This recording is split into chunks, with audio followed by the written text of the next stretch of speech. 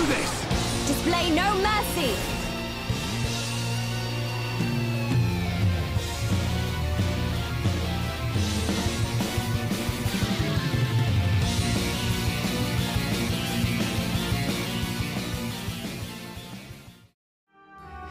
Hey everyone, Matt here with another Pure Nintendo video. As you can see, we are playing Xenoblade Chronicles. However, this series is a little bit different than our usual Let's Plays. In this series, we're going to be taking on the five super bosses, which are unique monsters which range from levels 100 to 120. Now, before each fight, I'm going to talk to you about what you're going to be needing to stand a chance against these guys. There are different combinations you can use, but I'll be going for the one that works for me, which is Shulk, Dunban, and Melia. I also won't be using the Topple lock strategy, in which you continuously inflict Topple throughout the entire battle. I also haven't used New Game Plus, which allows you to keep your affinity coins and gain new ones from defeating the same unique monsters you've killed in the past. Of course, I'll be putting my money where my mouth is. After I explain what's what, other Pure Nintendo staffers will join me as we take on these beasts. A lot of the info I found in taking these guys on came from the Xenoblade Wiki, so go check that site out if I say something that you don't quite understand. Also, because these super bosses appear at the end of the game, I'll be putting a huge spoiler warning in right now. If you don't want the game spoiled for you, I recommend you leave and come back later. With that out of the way, let's get started. For the first fight, we'll be going up against Final Marcus, which is by far the easiest one of the group. I'll show you the equipment I have, but as long as you keep Final Marcus's spike aura sealed, you shouldn't have too much trouble, even with any other kind of equipment. Now, I've got the best weapon for each while still having three gem slots. You'll need all you can get in these fights. Again, check out the Xenoblade Wiki to see where you can get the Wyvern Cutlass and the Sun Staff. Now, you'll notice everyone has a gem called Night Vision 5 equipped. These increase your accuracy at night and are absolutely essential in the fights against the remaining four super bosses. 5 star Central Bionis, then trade with Scarlin and Satorl Marsh to grab these. While there are Night Vision 6 gems that you can get, I haven't needed them against these guys, so don't worry about it.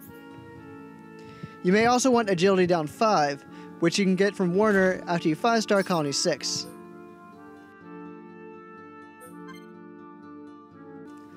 Another essential gem to have is Spike Defense 6, which increases your spike defense by 75%. You can grab the necessary level 5 crystals from Solare, Largo, and Shumai Cellulas inside the Bionis. Finally, make sure to max out your agility bonus through these gems. Your goal is to be able to hit your foes while not getting hit, and these actually do both at the same time. Finally, you won't need them now, but while you're out hunting, go ahead and get yourself some Divine Protection Crystals from Gogols and Satorl Marsh, and Unbeatable Crystals from Dino Soros in Makna Forest. After that, all you need to do is heat them up to level 6 gems. Now, I'm not going to cover how to get level 6 gems here, but if you want a video on that, I'll be happy to do it. Just leave a comment below.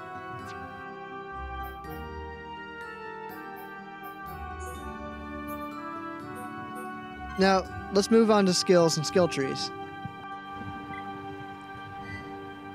I'm not going to go over every link, but I will tell you your goals. Aim for anything that helps agility, tension, the chain gauge, and reducing spike damage. That means you may need to go skill tree hunting and unique monster hunting. Melia also has a skill that reduces spike damage by 50%, always a plus.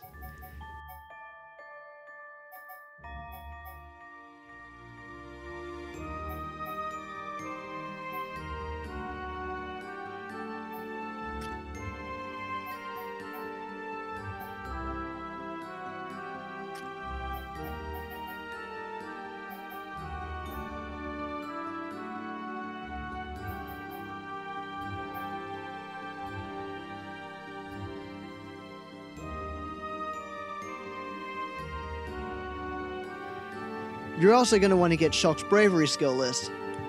The final skill here allows an automatic talent gauge refill every time you get a vision. This is pretty much essential because you're going to be getting vision tags left and right in these fights. I hope you've been leveling up your Monado arts to level 10, especially Armor, Purge, and Shield. All these super bosses will have level 10 arts, so you're going to need a level 10 shield to counter. Monado speed also helps out, but mostly you want to be focused on the first three I mentioned. You're also going to want to level up Shadow Eye as much as possible. Sometimes hits and breaking vision tags will bring Shulk some unwanted attention. A level 10 Shadow Eye should be enough to remedy this. You'll need to worry about leveling up Dunban's physical arts and auras as much as you can, especially Jaws of Death. Death comes fast and merciless in these fights, and you're really going to need any buffer you can. Because I'm harping on accuracy so much, his Serene Heart is maxed out. I suggest you do the same. If I had Reyn as a party member, I'd also put in Heat Haze. But I don't, and Shulk can't handle aggro quite like Dunban or Reyn can. Most of Melia's usefulness comes from the buffs in battle, and the sheer amount of damage she can help cause in chain attacks. Summon Bolt, Wind, Earth, and Aqua are all ready to go. I also have Mind Blast, and the off chance that she can actually inflict Art Seal. Also, I happen to have the Spear Break and Starlight Kick combo ready just in case I need to topple somebody. Again, I'm not going for topple lock, but sometimes you need a break from the action. So, we're about to get started with our first fight. Now, because no one's perfect, you may see the action shift a bit, and suddenly, we're in the middle of a different battle. That's because I died horribly, but I am resolved to conquer these beasts. Don't worry, I won't leave out anything that will be essential to total victory. Now, with all that out of the way, let's get the show on the road. First up, Final Marcus.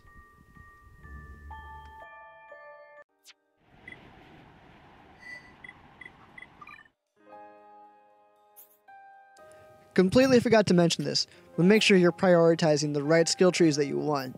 In my case, I put it all towards agility. Hey guys, welcome back! I just showed you everything you need to know to go up against the five bosses. This one specifically, Final Marcus.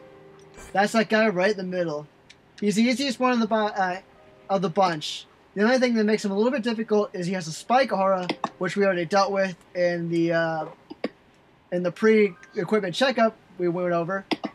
And these two guys right here, level 99 Gloria Slobos. But if there's a blizzard, it just makes it even harder because there's a giant dragon that will come down and destroy you all. But luckily, it's a nice, just a little bit snow, so he won't come down to kill us. So, without further ado, let's take on some Final Marcus. Let's do it. It's Reyn time. Oh wait, you don't have Reyn in the party. Nope. Care about Reyn. that guy. I only want this guy. Disappointing. Bam! Oh, I forgot to mention who's here. Well, it's me, Matt, behind the sticks. I'm also joined by Justin Sharp. Hey, I'm here. Caitlin Sharp. Katie's like, you're supposed to say. Caleb Sharp is also here. You're Hello. supposed to say something. And Alex Shrimke is also here. hey everybody, what's going on? That was a virtual nudge. Out. Oh yeah. oh man. Let's immediately go into chain attacking. Nice, nice. We're already losing. By killing this guy. 'Cause he's in our way. Yeah, man. I mean, really, did you have to go and beat them up? They weren't doing anything wrong. They were in my way. Yeah. They're just hanging out, you know? You, you know, you know, it's funny you mentioned that, Alex. Uh, I don't know why, but when I play Monster Hunter, I feel bad for the monsters. Oh, no.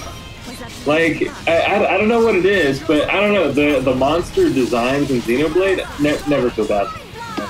Well, these guys go for you, especially those unique monsters. And Yeah. that nebulous dead. Mhm.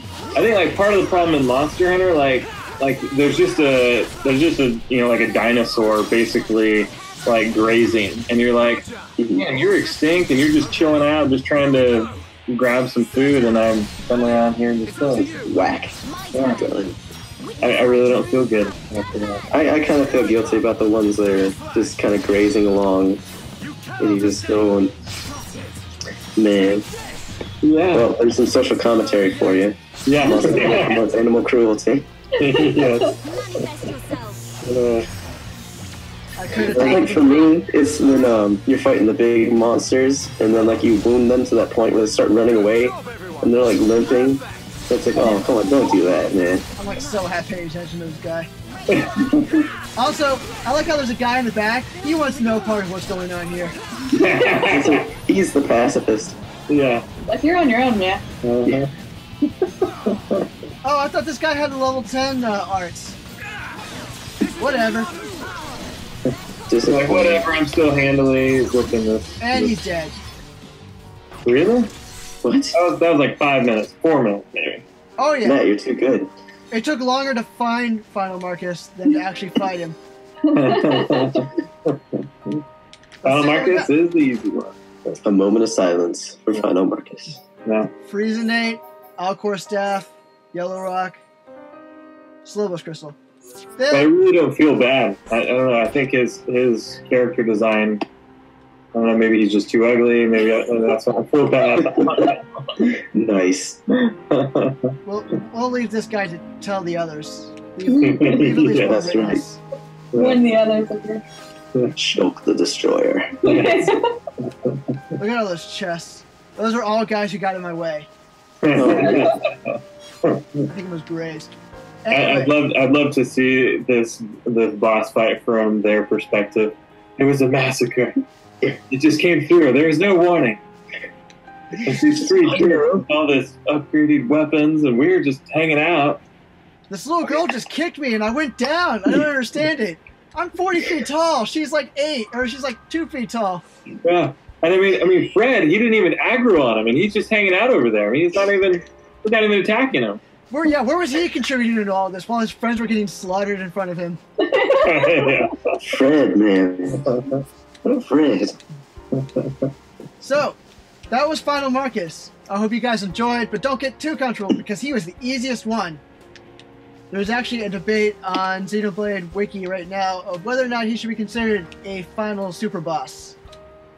Ooh, insult to injury. He's over 99. That's the only classification they had. That's all you need to know. Be sure to stay tuned for episode 2 while we fight an Italian robot. Until then, we'll see you all next time. So yeah. Bye. Bye, folks. Adios.